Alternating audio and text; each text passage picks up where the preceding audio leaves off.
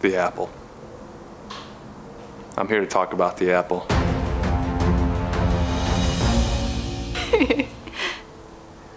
Who did it, you ask?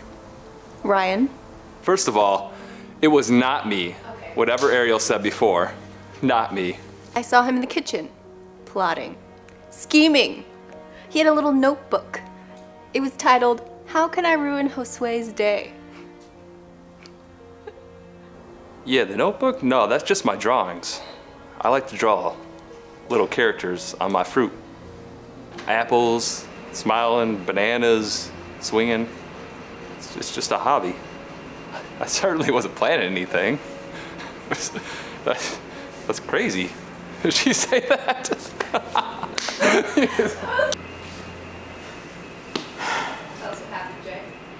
I didn't do it. Honestly, I don't know why people, I think maybe it's because of my brown skin or something. I've had this problem all my life, walking into places. Oh, excuse me, hold on. I had a peanut butter and jelly sandwich today, but I didn't get to eat it. It was gone. I think Ariel ate it. Anyways, I just had a cracker I found underneath the fridge. It was all right. It was a little moldy. I had a peanut butter and jelly sandwich. Oh, oh.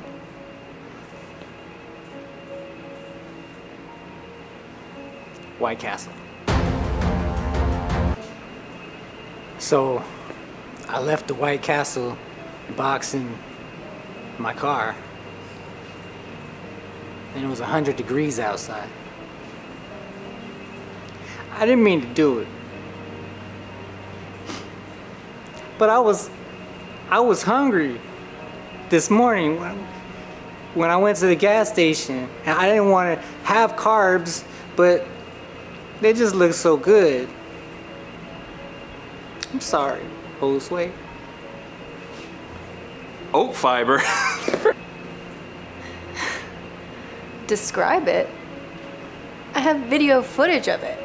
I have footage of Jay doing unspeakable things to Josue's poor little apple.